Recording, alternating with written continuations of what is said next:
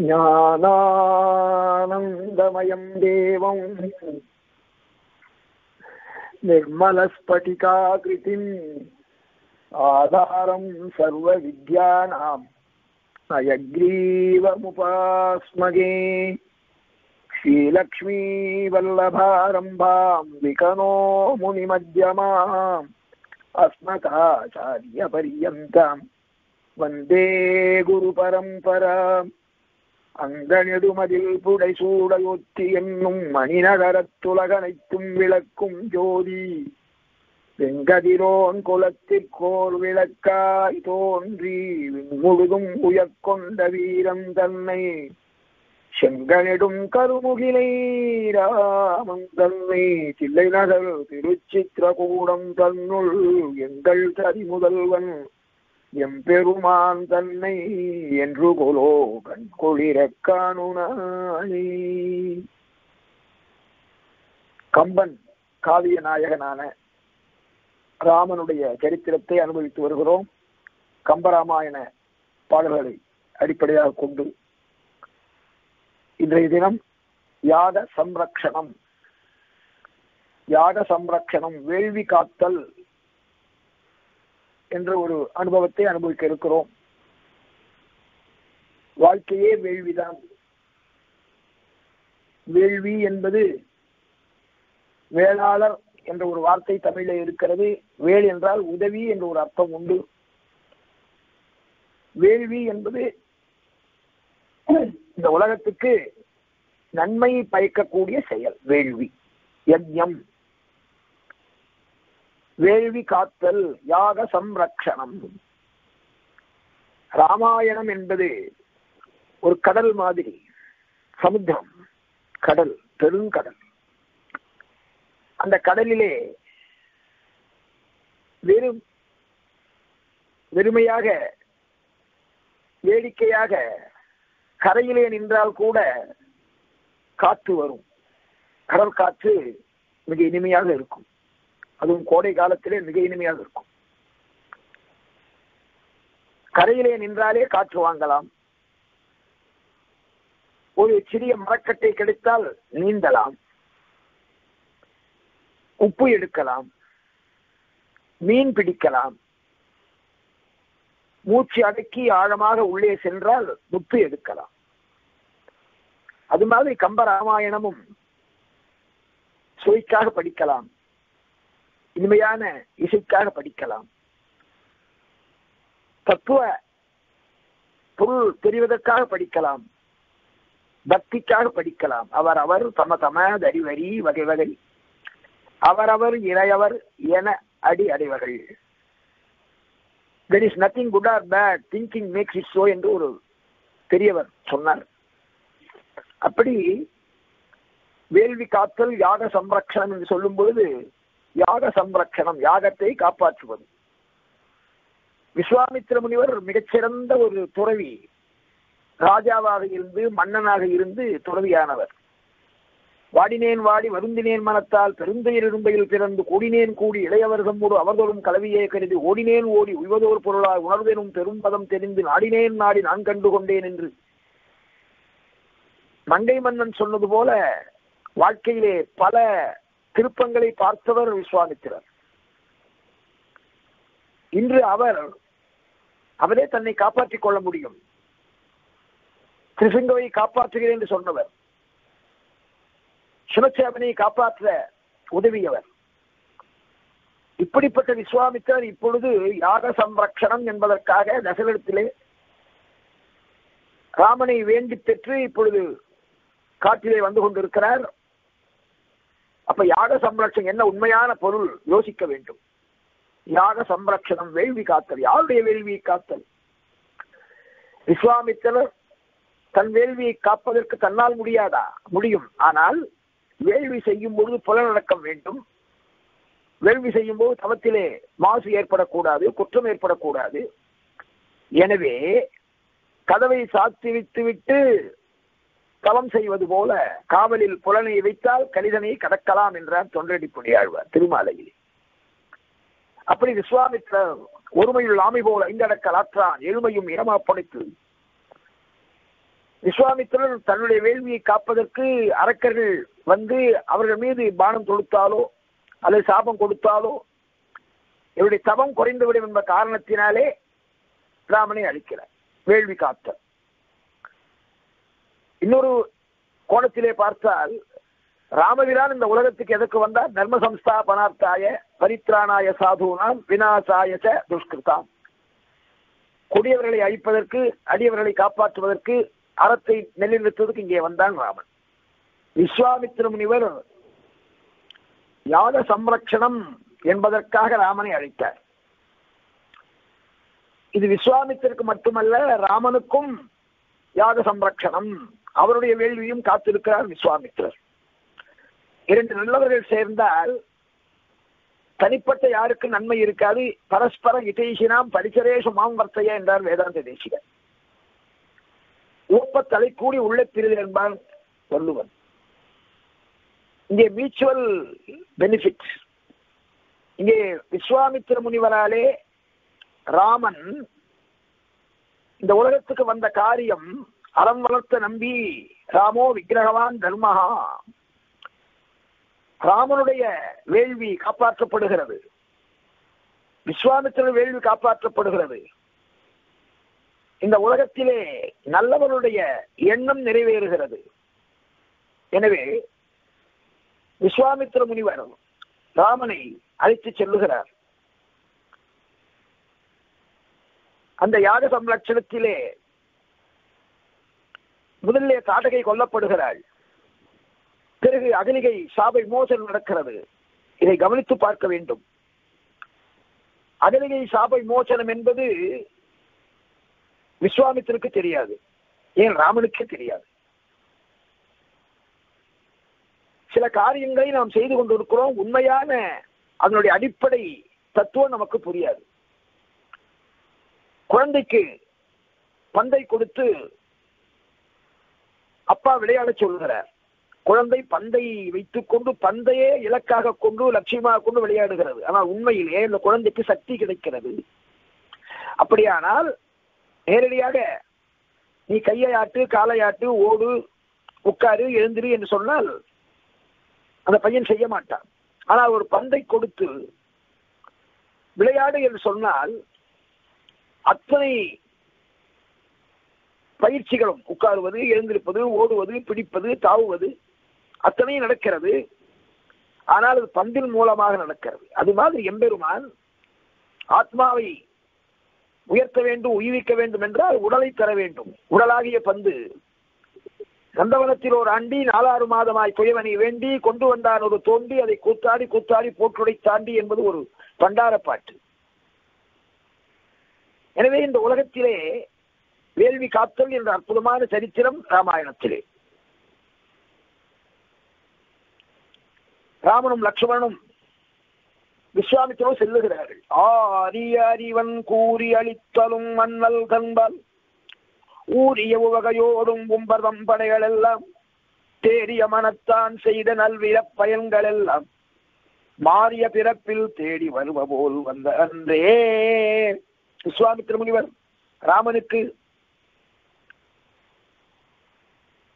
படைக்கலங்களை கொடுக்கிறார். நாகாஸ்திரம் பிரம்மாஸ்திரம் வருணாஸ்திரம் வாயுவாஸ்திரம் என்று நீர்க்கணை நெருப்புக்கணை வாயுக்கணை வீரவன் கணை இந்திரன் கணை. இப்படி அத்திரங்களை அளிக்கிறார் அதை அளிக்கும் பொழுது ரொம்ப அற்புதமாக சொல்லுகிறார்கள். அதை எப்படி உபயோகிக்க வேண்டும்?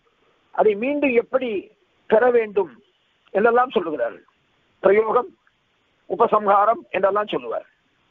இப்படி எப்படி ஒரு உயிரானது உடலை தேடி வருகிறதோ அது போல பேக் டு பெவிலியன் என்று சொல்லுவார்கள் சேர வேண்டிய இடத்திலே அதெல்லாம் சேர்ந்ததா இங்கே கம்பன் சொல்லுகிறான் அந்த அம்புகள் எப்படி வந்ததுன்னா ஏ வீண செய்து நிற்றும் இளையவன் போல. கவனிக்க வேண்டிய இடம். கம்பன் எவ்வளவு அழகாக ஆழமாக வார்த்தைகளை போடுகிறான் பாருங்கள். ஏ வீண செய்து நிற்கும் இளையவன் போல. திவ்யாஸ்திர பிருந்த வந்தித்த ஒரு வார்த்தை ரவிவீர திட்டத்திலே லக்ஷ்மணன் ராமனுக்கு எப்படி பணிவிடை செய்தான் என்றால் ராமனுடைய வில்லிலே உள்ள அம்புகள் எப்படி ராமனுக்கு கட்டுப்பட்டதோ அதுபோல இருந்தானாம். இப்படி ராமனும் லக்ஷ்மணும் விஸ்வாமித்திரனும் செல்லுகிறார்கள். அங்கே நிறைய சோலைகள் பூங்காக்கள் காடுகள் மலைகள் இருக்கின்றன. அதை பற்றி எல்லாம் சொல்லிக் கொண்டு போகிறார். சரியு நதியினுடைய பெருமையெல்லாம் சொல்லிக் கொண்டு போகிறார். அப்படி போகும்போது சித்தாசிரமம் வருகிறது. அதை பற்றிய பெருமையை சொல்லுகிறார் விஸ்வாமித்திர முனிவர். செங்கண்மாலிருந்து மேல் நாள் செய்தவம் செய்ததன்றே எப்படிப்பட்ட செங்கன்மால் எங்கள் நான் மறைக்கும் தேவர் அறிவிற்கும் பிறக்கும் எத்தா செங்கன்மால் வேதங்களாலே தேடி காண முடியாத பகவான். எங்கள் நான் மறைக்கும் தேவர் அறிவிற்கும் அமரர்க்கு அறியானை தேவர்கள் கண்டுபிடிக்க முடியவில்லையாம். பிறர்க்கும் எட்டா செங்கண்மால் இருந்து மேல் நாள் செய்தவம் செய்ததன்றே. வாமனன் ஸ்தவம் செய்த இடம் இது என்று சொல்லுகிறார். ஒரு இடத்திலே ஞாலம் கருதினும் கைகூடும் காலம் கருதி இடத்தால் செய்கிறேன் காலம் முக்கியம் இடம் முக்கியம். இப்படி அந்த சித்தாசிரமம் வாமனன் தவம் செய்த இடம் என்று விஸ்வாமித்திரன் புகழ்ந்து சொல்லுகிறார். ஒரு குரலாயிரி நிலம் மூவடி மண் வேண்டி. உலகமெல்லாம் இரடியால் ஒடுக்கி மகாபலிடத்திலே யாகம் செய்யும் பொழுது குரவனாக வாணியாக பிரம்மச்சாரியாக வாமனன் வந்து தன் காலாலே மூன்றடிமன் கேட்டு விஸ்வாமித்ர முனிவர் கதை சொல்லிக் கொண்டிருக்கிறார் நரி சக்கரவர்த்தியினுடைய நிலையும் வாமனன் நிலையும். அந்த வாமனன் மூன்றடி மண் கேட்டால் பலி சக்கரவர்த்தி தருகிறேன் என்று சொன்னார். சுக்கராச்சாரியர் குலகுரு தடுக்கிறார். வந்திருப்பவன் சாதாரணமானவன் அல்ல. எனவே அண்டமும் முற்றும் அகண்டமும் மேலால் உண்டவனாம் இது உணர்ந்து கொள் என்றான். சாதாரண உலகம் உண்ட தெருவாயனிவன் மாயனிவன் மாமாயனிவன் அப்பொழுது பலி சக்கரவர்த்தி சொல்லுகிறாராம் நினைக்கில என்பதை நிமிர்ந்திட வந்து தனக்கு ஏழா வகை தாழ்வது தாழ்வில். கணக்கரியானது கைத்தளமென்னின் எனக்கு இதன் மேல் தவம் யாதுகொள். மிகச்சிறந்த உலகத்தை எல்லாம் உண்ட பரம்பொருளான எம்பெருமானே என்னிடத்திலே கேட்கிறான் என்றால் கணக்கரியானது கைத்தலம் என்னில் என் கை மேலே இருந்து அவன் கண் கீழே இருந்து நான் கொடுக்க அவன் வாங்குகிறான் என்றால் இதைவிட பெரு பெருமை உண்டோ? சுக்கராச்சாரியர் தடுத்தாராம். கிண்டியிலே வண்டாக எம்பெருமான் கருப்பை புல்லை எடுத்து குத்தினான் என்றும் சுக்கராச்சாரியார் ஒரு கண் இழந்தான் என்பது கதை.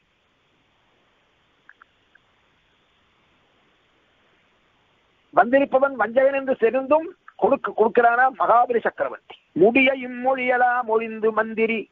கொடியன் என்று உரைத்த சொல் ஒன்றும் கொண்டிலன். அடி ஒரு மூன்றும் நீ அளந்து கொள்க.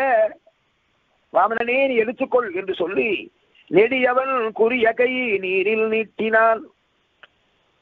எம்பெருமான் கையிலே விந்தியாவளி மனைவி அரசன் பலி சக்கரவர்த்தி இருவரும் சேர்ந்து தண்ணீரினாலே தானம் செய்து கொடுக்க உடனே என்ன செய்கிறானா? மூறி நிமிர்ந்து முழங்கி புறப்பட்டு அம்பர மூடறுத்து ஓங்கி உலகளந்த உம்பர் கோமார் வாமனாக வந்தவன் திருக்கிரமன் ஆகிறான்.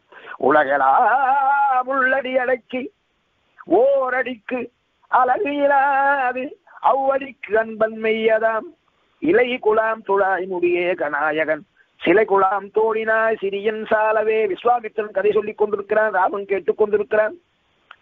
அழகிலாது அவ்வடிக்கு அன்பன் மெய்யதாம். இரண்டு அடி முடிந்து விட்டது மூன்றாவது அடி எங்கே என்று கேட்ட பொழுது ஓர் அடிக்கு அழகிலாது அவ்வடிக்கு அன்பன் மெய்யதாம். அடியான் அடியான். திருமால் அடியான்னு சொல்லிக் கொண்டிருக்கிறோம். உண்மையான அடியான் பரிசக்கரவர்த்தி மூன்றாவது அடிக்கு என் தலைதான் என்று சொல்லி தனது முடியை காட்டி எம்பெருமான் அடியை பெற்றவன். அடியார்க்கு அடியனான மகாபலி சக்கரவர்த்தி. அதனால்தான் இந்த பரம்பரையிலே பிரகலாதன் தென்னால் உண்டாகிறார். எந்தை தந்தை தந்தை தம் மூத்தப்பன் ஏழுபடிகால் தொடங்கி. இப்படி எம்பெருமான் மூவுலகும் ஈரடியால் முறை திறம்பா வகை முடிய தாவிய சேவடி. இந்த கதையை சொல்லி எனவே இந்த இடத்திலே நாம் யாகம் செய்ய வேண்டும் என்று யாகத்தை தொடங்குகிறார் விஸ்வாமித்திர முனி. யஜ்ஞா எனமஹா யஜ்ஞபதே நமஹா யஜ்ஞாங்கா எனமஹா யஜ்ஞபாகனா யனமஹா சகஸ்நாமம் பேசும். அவன்தான் வேள்வி அவன்தான் வேள்வி பயன் அவன்தான் வேள்வி பொருள்கள் அவன்தான் வேள்வி செய்பவன் வேள்வி நாயகன். அப்படிப்பட்டவன் தன் கதையை தானே கேட்டு ஏற்கனவே தான் எங்கே பிறந்தானோ எந்த இடத்திலே? வாமனன் தவன் செய்தானோ அந்த இடத்திலே இப்பொழுது விஸ்வாமித்திரன் யாகம் செய்ய ராமனும் லட்சுமணும் காக்கிறார்களாம் அந்த வேள்வி எப்படி காக்கிறார்கள் தெரியுமா? என்னுதற்கு ஆக்க அறிவு இரண்டு மூன்று நாள். ஆறு நாட்கள் அந்த யாகம் நடக்கிறது. என்னுதற்காக்க அரிது இரண்டு மூன்று நாள். விண்ணவர்க்கு ஆக்கிய முனிவன் வேள்வியை. தியாகம் என்பது எப்போதுமே தேவருக்காக செய்யப்படுவது. இந்திரனுக்கும் யமனுக்கும் வருணனுக்கும் வாயுவுக்கும் குபேரனுக்கும் செய்யப்படுவது. என்னுதற்கு ஆக்க அறிவு இரண்டு மூன்று நாள். விண்ணவர்க்கு ஆக்கிய முனிவன் வேள்வியை. மண்ணினை காக்கின்ற மன்னன் மைந்தர்கள் கண்ணினை காக்கின்ற இமையின் கத்தனர் மண்ணினை காக்கின்ற மன்னன் மைந்தர்கள் கண்ணினை காக்கின்ற இமையின் கத்தனர் கண்ணை போல காத்தார்களாம். இமை எப்படி கண்ணை பாதுகாக்குமோ?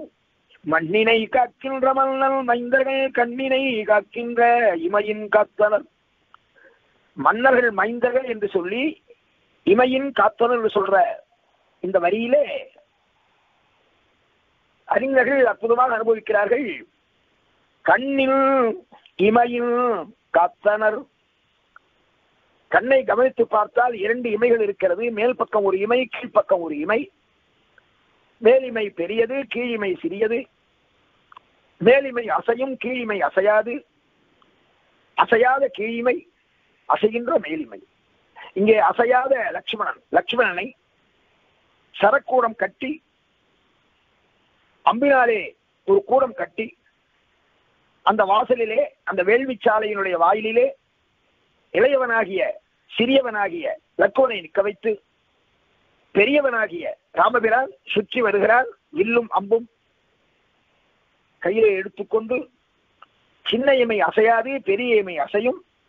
சின்ன இமை போல இளையவன் லட்சுமணன் நிற்க பெரிய இமை போல ராமன் சுற்றி வர கண்ணிலே எப்படி மேலுமையானது மூடி மூடி திறக்குமோ அதுபோல மண்ணினை காக்கின்ற மன்னன் மைந்தர்கள் கண்ணினை காக்கின்ற இமையின் காத்தனது அற்புதமான ஓமையை சொல்கிறார் என்று அறிஞர்கள் ரசிகர்கள் அனுபவிக்கிறார்கள். இந்த நிலையிலே ஆரவாரித்து யாகம் முடியக்கூடிய நிலை ஆறு நாட்கள் யாகம் முடியக்கூடிய நிலையிலே சேயாம்சி பகு விஜ்ஞானி நல்லதற்கு நிறைய தொல்லைகள் வரும். கெடுப்பதற்கென்றே இருப்பவர்கள் அரக்கர்கள். எனவே அப்படிப்பட்ட அரக்கர்கள் சுபாகவும் மாரீசனும் கூட்டத்தோடு வந்து வார்த்தை மாறு உரைத்திலாம் முனிவன் மௌனியாய் போர் தொழில் குமரனும் தொழுது போந்தபின் பார்த்தனன் விசும்பினை பருவமேகம் போல் ஆர்த்தனர் இடித்தனர். அசனி அஞ்சவே இடி போல சத்தம் கேட்கிறதாம். மௌனமாக யாகம் செய்து கொண்டிருக்கிறான் முனிவன். அக்கறையாக சுற்றி சுற்றி ராமனும் நிலையாக நின்று லக்கோனும் காத்துக் கொண்டிருக்கிறார்கள். எய்தனர் எரிந்தனர் எரியும் நீருமாய் பெய்தனர் பெருவரை பிடுங்கி வீசினர். வைதனர் தெளித்தனர் மழு கொண்டு ஒச்சினர் செய்தனர் ஒன்று அல தீய மாயமே தீய மாயமே. மாயமே தீ தீயது தீய மாயமே. இப்படி யாகத்தை கெடுப்பதற்காக பலவிதமான இடையூறுகளை செய்கிறார்கள். அந்த சமயத்திலே லட்சுமணனை பார்த்து ராமன் சொல்லுகிறாராம் அதோ பார் கண்டா குமரம் கடைக்கண் தீவுக விந்தனை நோக்குதல் வில்லை நோக்கினான். அண்டர் நாயக இனி காண்டீண்டவர் துண்டம் வீழ்வன என துழுவு சொல்லினார் அண்ணா சொல்லிவிட்டீர்கள் அல்லவா? இதோ பாருங்கள் என்று சொல்லி லக்குவன் அம்பை தொடுக்கிறான் வில்லை தொடுக்கிறான். அந்த சமயத்திலே முனிவர்களுக்கு அபயப்பிரதானம் அளித்து முனிவர்கள் பயப்படுகிறார்கள். திருமகள் நாயகன் தெய்வ பாலிதான் வெறுவரு காதகை பயந்தமைந்தவள். இருவரில் ஒருவனை கடலிலிட்டது அங்கு ஒருவனை அந்தகன் புறத்தில் வைத்ததே திருமகள் நாயகன் தெய்வவாளிதான் வெறுவரு தாடகை பயந்த வீரர்கள். இருவரில் ஒருவனை கடலில் விட்டது அங்கு ஒருவனை அந்தகபுரத்தில் உய்த்ததே சுபாகுமாரீசன் தலைமையிலே ஆயிரக்கணக்கான அசுரர்கள் யாகத்தை அழிக்க வந்திருக்கிறார்கள் அழிக்கிறார்கள். தடுப்பதற்காக சரக்கூடம் கட்டியிருக்கிறார் லக்ஷ்மணும் ராமனும் வில்லையும் அம்பையும் தொடுத்து அவளை அழிக்கிறான் அப்படி அழிக்கும் பொழுது அத்தனை பேரையும் அழிக்கிறான். தலைவராக இருந்த மாரீசன் சுபாகுவிலே ஒருவனை அந்தகள் புறத்து உய்த்து அங்கு ஒருவனை கடலில் விட்டதே மாரீசன் சுபாகு இரண்டு பேரிலே சுபாகுவை கொன்றதாம். அந்த அம்பு மாரீசனை கடலிலே தள்ளியதாம். அம்பு கூட ராமபிரானுடைய எய்வண்ண வெஞ்சிலையே துணையாய் கொண்டு மங்கை மன்னன் அனுபவிப்பார். இருவராய் வந்தார் என் முன்னே நின்ற. அந்த அம்பு இருக்கிறதே அது கூட ராமன் கருத்தை உணர்ந்து கொண்டு இந்த மாரீசன் பின்னாலே தேவைப்படுவான். அந்த மாரீசனால் தான் ராமனும் சீதையும் பிரிய போகிறார்கள். அதனால்தான் ராவணனுக்கு கோபம் உண்டாக போகிறது காமம் உண்டாக போகிறது. காம வெகுளி இரண்டும் அவனுக்கு இருக்கிறது. இங்கே மாரீசன் சுபாகவும் காமம் வெகுளியாக வந்திருக்கிறார்கள். காமம் போன்றவன் மாரீசன் வெகுளி போன்றவன் சுபாகு வெகுளியை கொன்று காமத்தை விட்டு விடுகிறார். இதிலே ஒரு தத்துவம் இருக்கிறது. காமத்தை அடக்கவில்லை என்றால் அது உன்னை அடக்கிவிடும். எனவே தீயவை தீய பயத்தலால் தீயவை தீயினும் அஞ்சப்படும். எனவே கட்டுப்பாடு இல்லை என்றால் அது உன்னையே கட்டுப்படுத்தி விடும். ஆகையினாலே காமமாகிய மாரீசனை கடலிலே தள்ளி வெகுளியாகிய சுபாகுவை கொன்று யாகத்தை காட்டுகிறார். காத்து நிற்கிறார். அப்படி அரக்கரெல்லாம் ஓடிவிட மாரீசன் கடலிலே விட சுபாகு அழிந்து போக போர்க்கள காட்சி ஓடின அறக்கரை உருவில் வெங்கனை கூடின குறைத்தலை மிரைத்து கூத்து நின்று ஆடின அழகையும் ஐயன் கீர்த்தியை பாடின பரந்தன பறவை பந்தரை. ஒரே கழுகள் முடிக்கின்றதாம் பிணக்கூட்டங்கள் இருக்கின்றதாம் அந்த போர்க்களம் வேள்விக்களம் போர்க்களமாகிவிட்டது. ஆனால் எதை பற்றியும் கவலைப்படாமல் விஸ்வாமித்திர முனிவன் யாகத்தை செய்து முடித்தார். தேவர்களெல்லாம் பூமாறி பொழிகிறார்களாம். பந்தரை கிழித்தன பரந்த பூமழை சுந்தர துந்துவி முகிலில் நார்த்தன இந்திரன் முதலிய அமர்கள் இண்டினார் சுந்தர வில்லியை தொழுது வாழ்த்தினார். பந்தரை கிழித்தன பரந்த பூமழை. ஆகாயத்து பூமழை பொறிகிறதா? அந்தர துந்துவி முகில் ஆத்தன மேகங்களைப் போல கர்ஜிக்கிறதாம் மிருதங்கங்கள். துந்துவிகள் வாத்தியங்கள். இந்திரன் முதலிய அவர்கள் இண்டினார் இந்திரன் அக்னி யமன் குபேரன் வருணன் வாயு ஈசான்யன் முப்பத்து மூவர்கள். அங்கே கூடி இந்திரன் முதலிய அமரர் இண்டினார் சுந்தரவில்லியை தொழுது வாழ்த்தினார். சுந்தரவில்லியை இது போன்ற தமிழ் எங்கே பார்க்க முடியும்? சுந்தரவில்லியை வில்லு வில்லை உடையவன் வில்லி. அழகாக இருக்கிறான். ராமனுக்கு அழகு அந்த கோதண்டம் ஏறக்குறைய அவனுடைய உயரத்துக்கு இருக்கும். ராமனுடைய கிரீடம் அந்த வில்லினுடைய மணி நுனி. அப்படி வில்லும் ராமனும் ஒரே அளவிலே இருப்பார்கள். அழகாக இருக்கிறா சுந்தர வில்லியை ஒரு வில் ஒரு இல் ஒரு சொல் என்று நேர்மை உடையவன் ராமன்.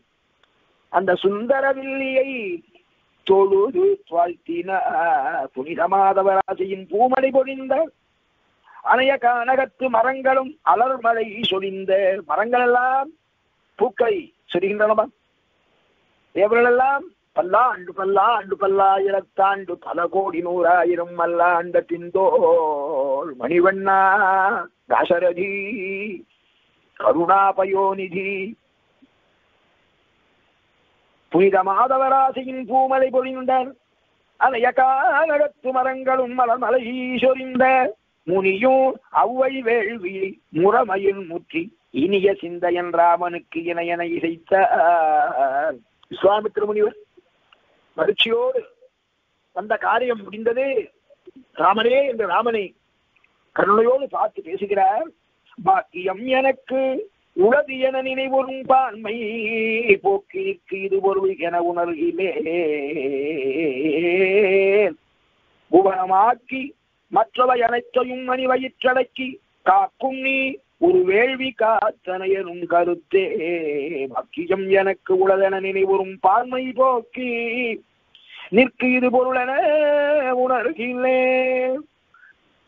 அமார் ராமா மோகனராமா முகஜித சோமா பரம பாவனம் இன்று நீ யாகத்தை காத்தாயே நீ எப்படிப்பட்டவன் தெரியுமா?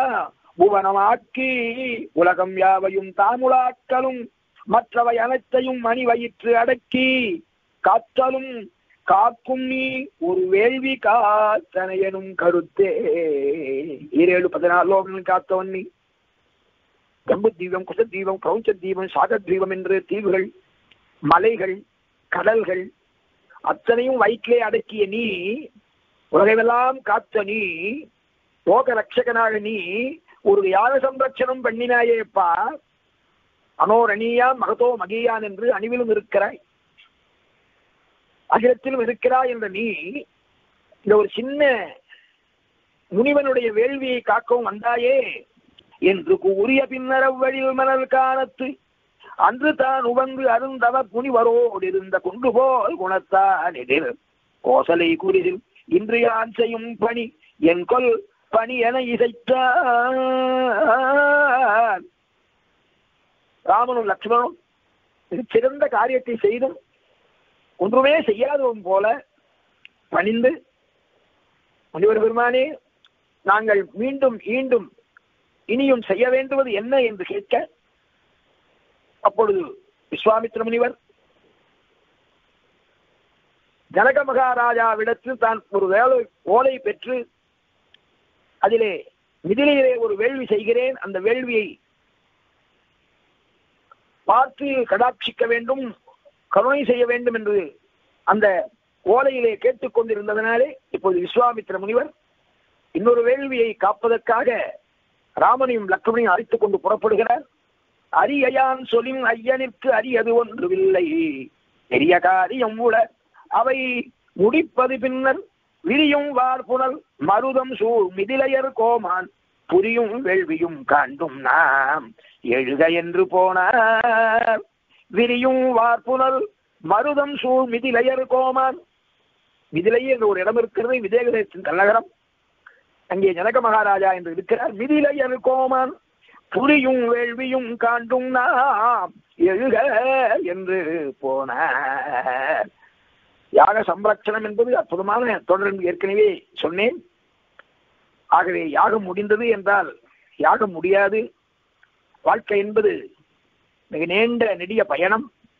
அதிலே ஒரு வேள்வி முடிந்தது இன்னொரு வேள்விக்காக இப்பொழுது விஸ்வாமித்திரன் வேள்வியை விஸ்வனாக விசுவாசியாக இருந்த ராமன் காப்பாற்றினான்.